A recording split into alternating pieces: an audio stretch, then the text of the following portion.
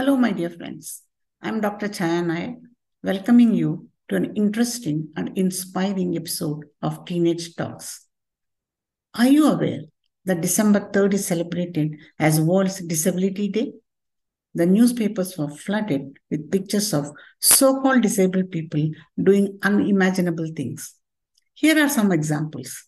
Boniface Prabhu is a quadriplegic wheelchair tennis player and won a medal at the 1998 World Championship and was awarded Padma Shri by the Government of India. Have you heard of Sai Prasad Viswanathan? He lost sensation in the lower half of his body when he was a kid, but he didn't let the disability hinder him.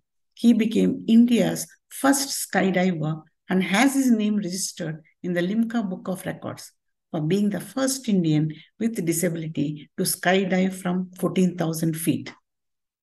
Arunima Sinha lost her leg when some robbers pushed her out of a moving train.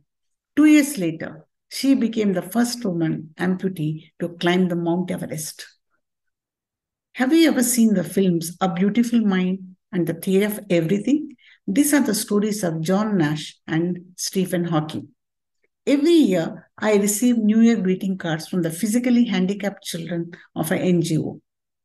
Some of them are done by the children who have no upper limbs and they paint it with their feet. All this set me thinking Are they really disabled, handicapped? They are utilizing the resources available to them. How many of us with perfect physical, mental, and intellectual equipment are utilizing the resources available to us? If we are not utilizing, are we in some way or another handicapped?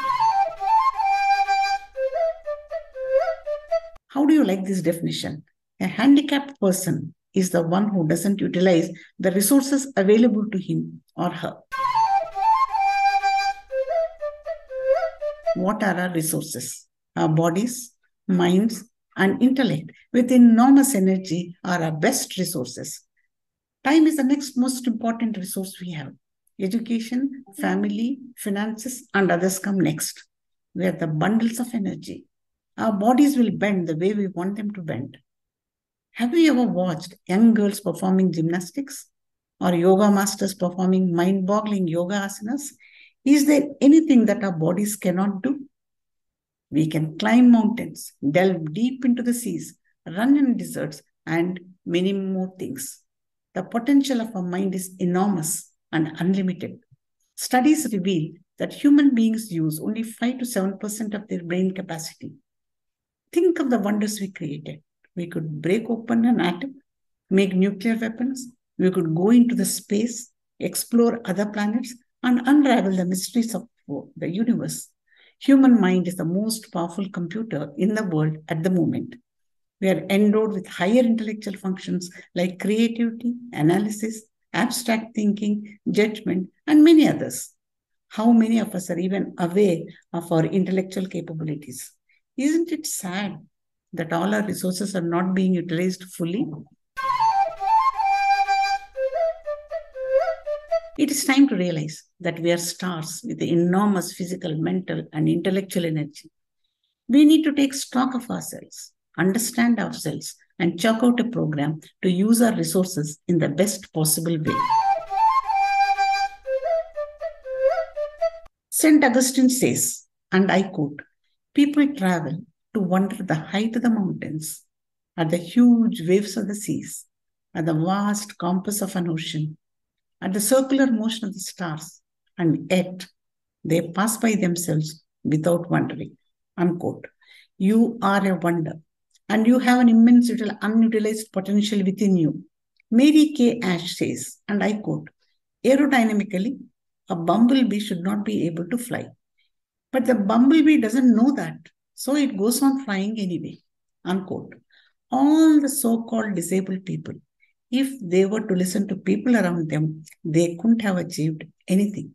So, my dear teens, don't listen to people who discourage you.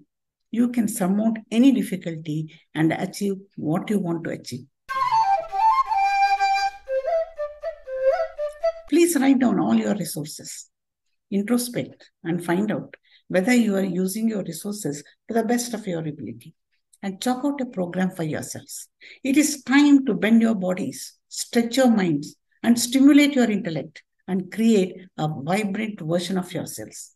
Please don't forget that time is an important resource and many of us don't utilize our time. If you find time, read the book by Arnold Bennett on how to live 24 hours a day. Thank you guys for listening and see you in my next episode. Till then, be fit and keep smiling.